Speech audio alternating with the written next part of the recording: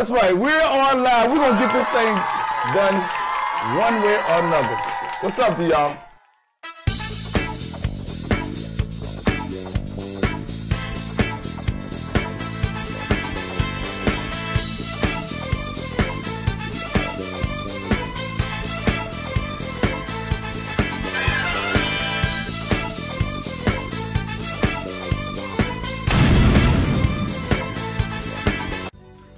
Welcome to Third Eye Visions, where we motivate the blind, stimulate your mind, and welcome all kind.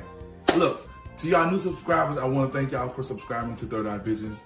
And make sure to hit the notification bell so that you can get updates. But check this out today. I'm taking it back to the old school. You ever thought about how blind people are able to communicate in this world? Well, we have a form called Braille, a whole bunch of dots. I'm gonna just put it like that. I don't feel like explaining to you. But what we use is a machine. It's an old-fashioned machine because everything has uh, changed now. Technology has advanced. Called a Braille writer.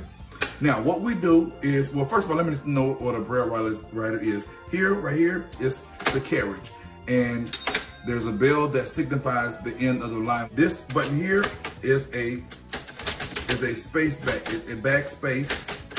And then here, right here, is a line space. And then you have six keys. We have one, two, three, and then there's a space bar, and then four, five, six.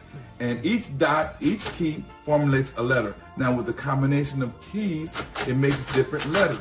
And that's what I do. I actually type on here to make Braille. Now if you are wondering what Braille is all about, I don't know if you can see that, but it's a whole bunch of dots. So what I do, I, I type on this old school thing called a Braille writer. It makes dots. So that's how we're able to feel what we need to feel and communicate. But again, this is a Braille writer. So remember, now, not too many people actually use a Braille writer. I still do, but there are other people who may use other forms of writing, and we'll get to that in another video.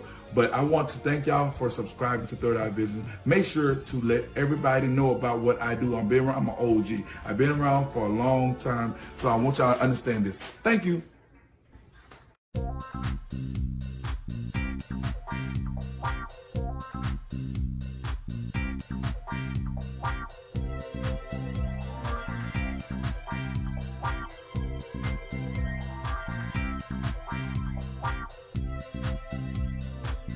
Yeah.